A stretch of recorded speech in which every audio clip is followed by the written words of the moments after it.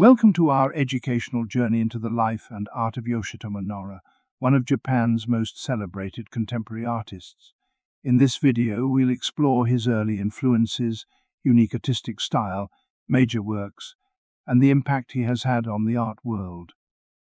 Yoshitomo Nara was born on December 5, 1959, in Hirosaki, Aomori Prefecture, Japan. Growing up in Poswa, Japan, Nara was often left alone as his parents worked, which led him to develop a deep connection with art and literature from a young age. He found solace in drawing and was heavily influenced by comic books, animated films, and Western rock music.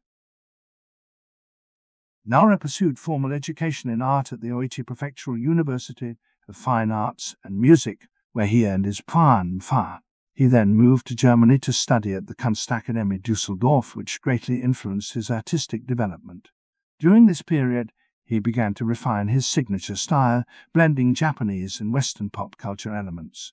Yoshitomo Nara's artistic style is characterized by its simplicity, emotional depth, and the recurring depiction of why-did children and animals. These figures often express feelings of defiance.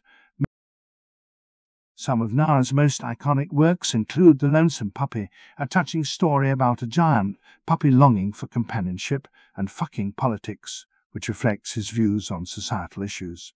Midnight Surprise, a large-scale installation, showcases his ability to blend art with immersive experiences, captivating audiences with its emotional resonance. Yoshitomo Nara's influence extends far beyond the canvas. His work has been exhibited worldwide, resonating with diverse audiences and inspiring a new generation of artists. His unique blend of innocence and rebellion, coupled with his deep emotional expression, has made him a pivotal figure in contemporary art. Nara's pieces often command high prices at auctions, and his influence is evident in various aspects of pop culture. Despite his fame, Nara remains grounded and deeply connected to his roots. He often speaks about the importance of staying true to oneself and finding beauty in everyday life. His philosophy is reflected in his art, which continues to evolve while maintaining its core emotional depth.